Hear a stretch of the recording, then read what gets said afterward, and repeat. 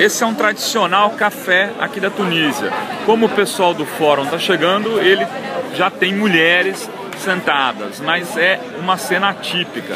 Em geral, eles são frequentados apenas por homens, principalmente na parte interna, onde é, se servem bebidas alcoólicas. Aqui, na parte interna. Na parte externa, não tem bebida alcoólica.